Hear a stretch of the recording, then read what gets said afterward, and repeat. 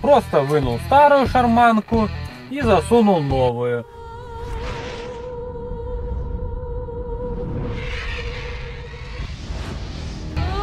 Всем привет! Сегодня у нас на распаковочке вот такая вот посылище из Китая. А прибыла она ко мне из интернет-магазинчика Banggood. Товарчик в этой посылке был предоставлен мне на обзор менеджером этого магазинчика. Добиралась ко мне где-то меньше месяца, как всегда. Вскроем и посмотрим, что же там мне прислали такого интересного на обзор.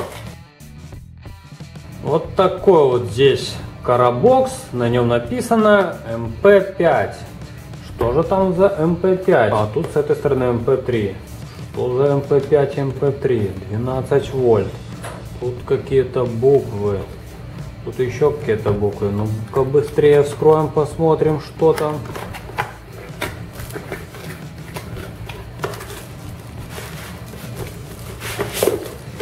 Опа, а здесь у нас шарманка. шарманка для автомобиля.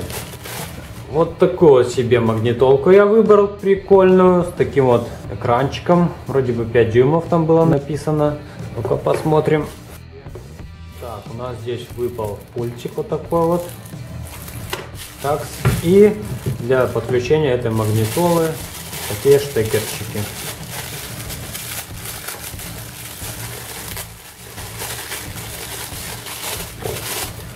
Такие вот два штекера. Потом разберемся и подключим машину. В принципе, магнитола в машине моя устраивает. Она такая простенькая, там флешку втыкнул и слушаешь. Но захотелось чего-то получше, побольше, посмотреть э, видео какие-нибудь. Иногда стоишь в дороге и можно включить, посмотреть. Вот решил заказать на Бангуде вот такую вот магнитолу. Так, это у нас инструкция такая вот небольшая. Ну, это все нам не интересно, мы давайте рассмотрим магнитол. Так, сзади у нас входы видео, аудио, это для подключения, например, или сабвуфера, или же, если будет э, камера заднего вида, то тоже можно подключить ее. Например, я тоже заказал на одном магазинчике камеру заднего вида, так что попозже, когда она придет, делаю обзор и на нее, как я подключил. Так, а здесь разъем под радио антенну. Так, здесь разъем это для подключения вот этих штекеров, все понятно. Предохранитель стоит. Так, и смотрим, что же у нас спереди, как она выглядит. Спереди выглядит, в принципе, зачетно. Мне нравится, отличненько. Так, вот эта штука.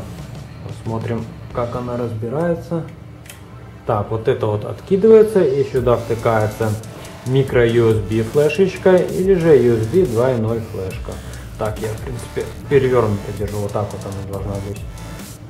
Магнитола вставляется. Хм, прикольно. Вот так вот вставляется, получается экраном к водителю. Поэтому надо быть за рулем осторожнее, поменьше смотреть в эту магнитолу.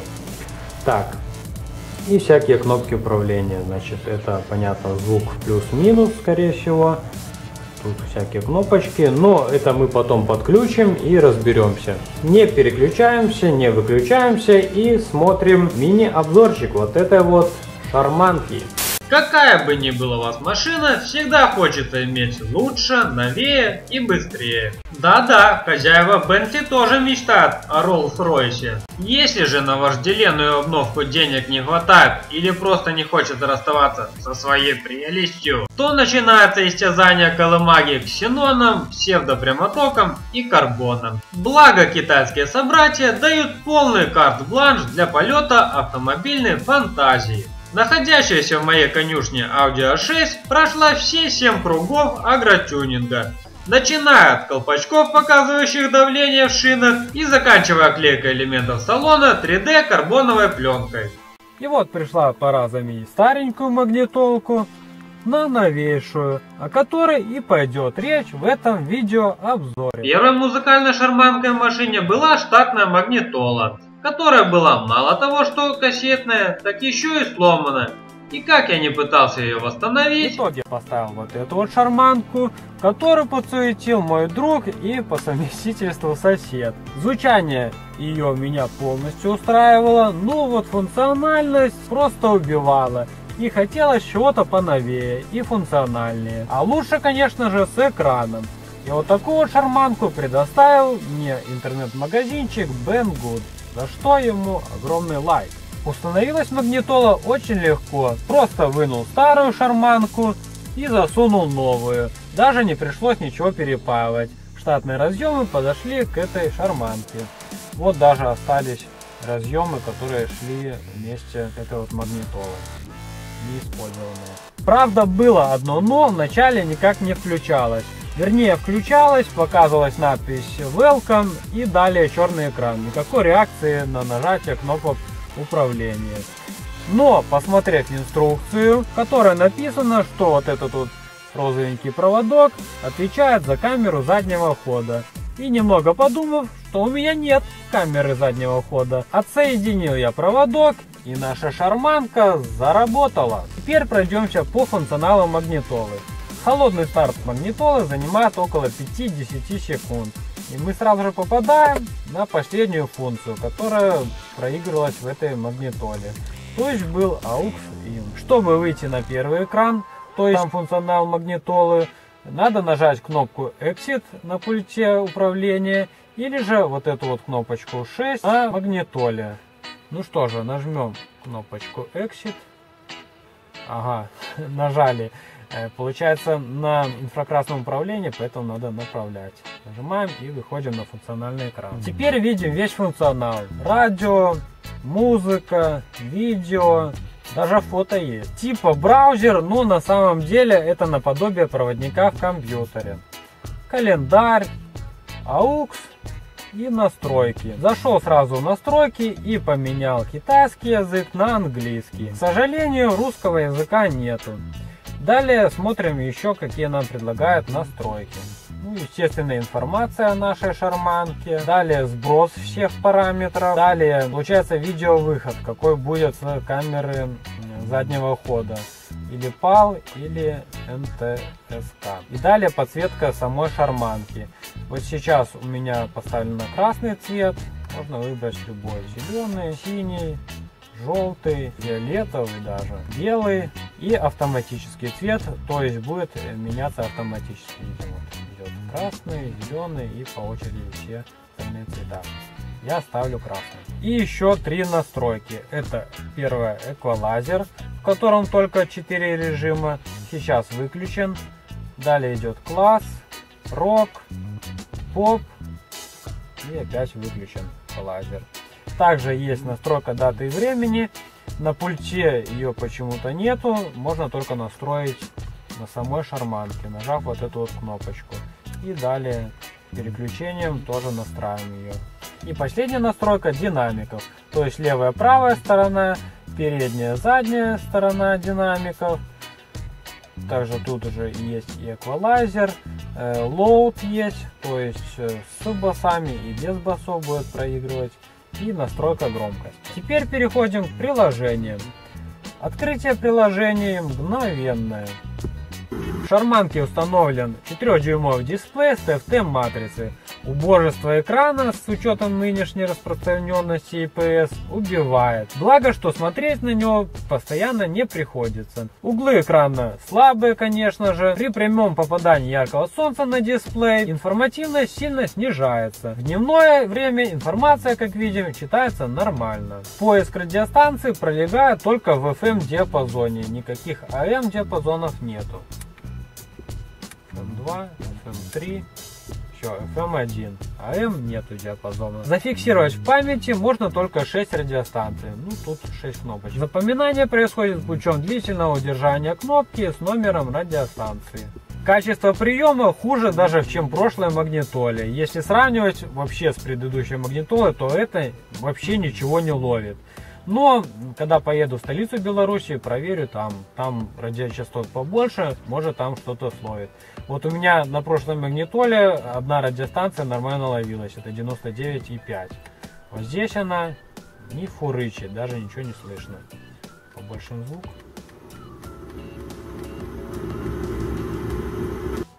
Видим, ничего не ловит. На лицевой стороне имеется два разъема.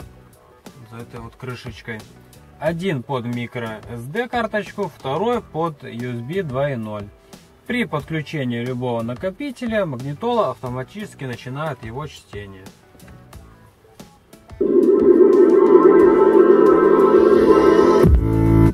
В зависимости от скорости флешки, емкости и объема информации, время чтения может длиться от 2 до 25 секунд.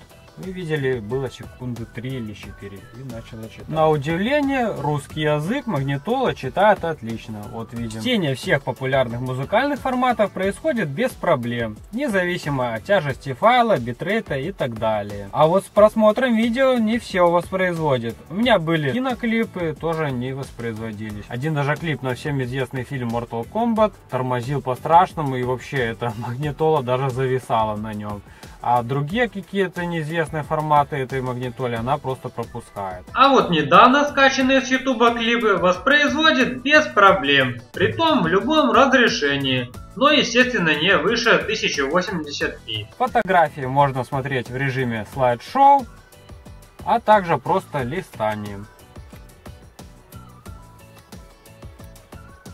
Режим AUX делится на два подрежима простое подключение, либо через разъем AUX, и вот этот вот штекер к смартфону, либо сзади магнитолы. Есть разъемы для тюльпанов. Их работоспособность проверим, когда придет камера заднего хода. И Bluetooth подключение. Переключаем режим Bluetooth подключения и для подключения устройства к магнитоле обнаруживаем ее под именем AH CarKit. После спаривания устройств на экране магнитолы Bluetooth горит зеленым цветом. Теперь следующее подключение будет происходить автоматически, если у вас, конечно же, включен Bluetooth на телефоне. Во время использования на дисплее нашей шарманки ничего не происходит. Кстати, когда заказывал магнитолу, да и в процессе распаковки даже не заметил, что ее можно использовать как Bluetooth гарнитуру для телефонных звонков. Но потом присмотревшись и опробовав весь функционал вот этой вот шарманки, теперь могу рассказать и о этой функции. Значит, в процессе разговора собеседника слышно очень даже хорошо. Звук транслируется на штатные спикеры автомобиля. Громкость можно регулировать как на телефоне, так и на магнитоле. А также на магнитоле можно принимать вот этой вот кнопочкой и вот этой вот кнопочкой завершать звонки. Самому же при разговоре приходится немного повышать голос, так как иначе начинает переспрашивать. Сейчас и проверим, это в скайпе.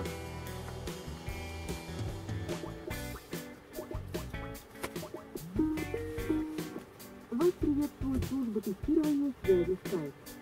После сигнала начнется запись вашего сообщения длительностью до 10 секунд.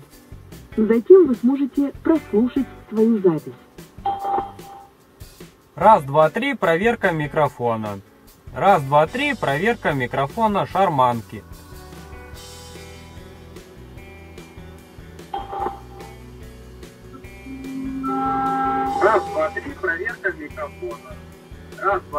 Проверка микрофона нормально. Еще одна интересная функция Bluetooth – это трансляция звука с планшета или же смартфона на акустику автомобиля.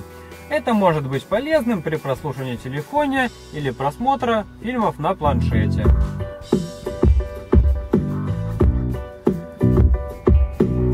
Также некоторыми кнопками на шарманке можно управлять некоторыми функциями в плеере смартфона. Например, вот это включает и выключает песню. И вот эти вот переключает на следующий трек. Или же на трек назад.